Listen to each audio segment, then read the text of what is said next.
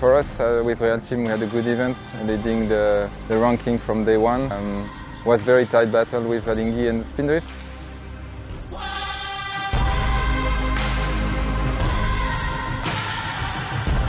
With uh, Realteam, we trained a lot uh, last winter. We couldn't really uh, train with the other guys, we had a different plan. So we were a little bit uncertain entering the event here.